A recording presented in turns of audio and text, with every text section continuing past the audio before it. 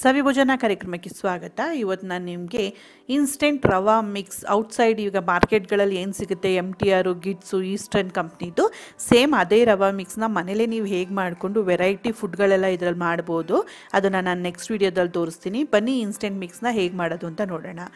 ಮೊದಲಿಗೆ ನಾನು ಒಂದು ಬಾಣಲಿಗೆ ಏನು ಮಾಡಿದ್ದೀನಿ ಒಂದು ಎರಡು ಟೇಬಲ್ ಸ್ಪೂನಷ್ಟು ಎಣ್ಣೆ ಬಿಸಿ ಮಾಡಿಕೊಂಡು, ಎಣ್ಣೆ ಬಿಸಿ ಆದ ತಕ್ಷಣ ನಾನು ಇದಕ್ಕೆ ಒಂದೂವರೆ ಟೀ ಸ್ಪೂನಷ್ಟು ಸಾಸಿವೆ, ಒಂದು ಟೀ ಸ್ಪೂನಷ್ಟು ಜೀರಿಗೆ ಆನಂತರ ಒಂದು ಟೇಬಲ್ ಸ್ಪೂನಷ್ಟು ಕಡಲೆಬೇಳೆ, ಒಂದೂವರೆ ಟೇಬಲ್ ಸ್ಪೂನಷ್ಟು ಉದ್ದಿನಬೇಳೆ, ಇದೆಲ್ಲನೂ ಹಾಕ್ಕೊಂಡು ಲೈಟಾಗಿ ಒಂದು ಬ್ರೌನ್ ಆಗೋ ತನಕ ಇದನ್ನು ನೀಟಾಗಿ ಫ್ರೈ ಮಾಡ್ಕೊಬೇಕು. ಗ್ಯಾಸ್ನ ಒಂದು ಮೀಡಿಯಮ್ ಫ್ಲೇಮಲ್ಲಿ ಇಟ್ಕೊಳ್ಳಿ. ಇದು ಒಂದು ಲೈಟಾಗಿ ಟ್ರಾನ್ಸ್ಪರೆಂಟ್ ಆದ ತಕ್ಷಣ ಇದಕ್ಕೆ ಏನು ಮಾಡಬೇಕು, ಒಂದು ಟೇಬಲ್ ಸ್ಪೂನಷ್ಟು ನಾನು ಶುಂಠಿ ಬೆಳ್ಳುಳ್ಳಿ ಪೇಸ್ಟ್ ಹಾಕ್ಕೊಳ್ತಾ ಇದ್ದೀನಿ. ಆನಂತರ ಒಂದು ಏಳರಿಂದ ಎಂಟು ಹಸಿಮೆಣ್ಸಿಕಾಯಿನ ಸಣ್ಣದಾಗಿ ಕಟ್ ಮಾಡಿ ಹಾಕೊಂಡಿದ್ದೀನಿ. ನಂತರ ಒಂದು ಮೂರು ರೆಂಬೆಯಷ್ಟು ಕರ್ಬೇವಿನ ಸೊಪ್ಪನ್ನ ಸಣ್ಣದಾಗಿ ಕಟ್ ಮಾಡಿ ಹಾಕೊಂಡಿದ್ದೀನಿ. ಈಗ ನಾನು ಇದಕ್ಕೇ ನಾನು ಏನು ಮಾಡ್ತಾ ಇದ್ದೀನಿ, ಒಂದು ಕಪ್ ಆಗಷ್ಟು ಕೊತ್ತಂಬರಿ ಸೊಪ್ಪನ್ನ ಸಣ್ಣದಾಗಿ ಕಟ್ ಮಾಡಿಬಿಟ್ಟು ಇದಕ್ಕೆ ಹಾಕ್ಕೊಂಡು ಚೆನ್ನಾಗಿ ಎಷ್ಟು ಆಗಬೇಕಂದ್ರೆ ಈ ಹಸಿ ಸ್ಮೆಲ್ಲೆಲ್ಲ ಹೋಗಬೇಕು. ಇದು ನಾನೇನು ಶುಂಠಿ, ಕರಿಬೇವು ಮತ್ತು ಕೊತ್ತಂಬರಿ ಎಲ್ಲ ಹಾಕಿದ್ದೀನಿ. ಇದರದ್ದೆಲ್ಲ ಹಸಿ ಸ್ಮೆಲ್ಲೆಲ್ಲ ಹೋಗಿ ಇದು ಗರ್ಗರಿ ಆಗಬೇಕು. ಅಲ್ಲಿ ತನಕನೂ ಚೆನ್ನಾಗಿ ಇದನ್ನು ಫ್ರೈ ಮಾಡ್ಕೊಳ್ಳೋಣ. ನೋಡಿ, ಈ ರೀತಿ ಫ್ರೈ ಆದ ನಂತರ ಇವಾಗ ನಾನು ಏನು ಮಾಡ್ತಾ ಇದ್ದೀನಿ, ನಾನು ಇದಕ್ಕೆ ಎರಡು ಕಪ್ ಆಗಷ್ಟು ಮೀಡಿಯಂ ರವೆ ತೊಗೊಂಡಿದ್ದೀನಿ.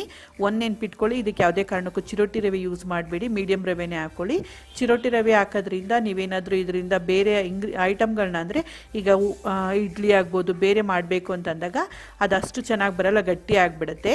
ಇದನ್ನು ಈ ರೀತಿ ಹಾಕ್ಕೊಂಡು ಇಲ್ಲ ಅಂದ್ರೂ ಗ್ಯಾಸ್ನ ಫುಲ್ ಸಿಮ್ಮಲ್ಲಿಟ್ಟು ಒಂದು ಹದಿನೈದು ನಿಮಿಷ ಘಮ ಬರೋ ತನಕ ನೀಟಾಗಿ ಫ್ರೈ ಮಾಡ್ಕೊಬೇಕು.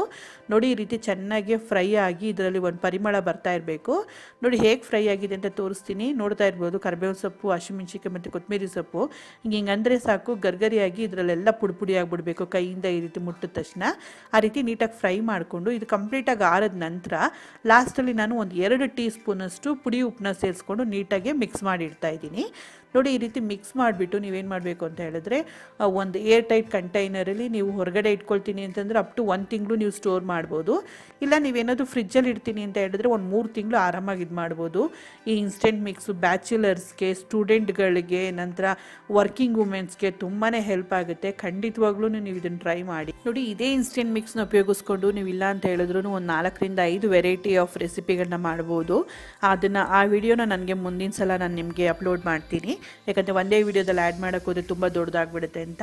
ಈ ವಿಡಿಯೋ ನಿಮ್ಗೆ ಇಷ್ಟ ಆದರೆ ಲೈಕ್ ಮಾಡಿ, ಮತ್ತು ಶೇರ್ ಮಾಡಿ ನಿಮ್ಮ ಫ್ಯಾಮಿಲಿ ಫ್ರೆಂಡ್ಸ್ ಜೊತೆಗೆ.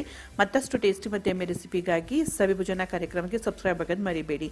Thanks a lot for watching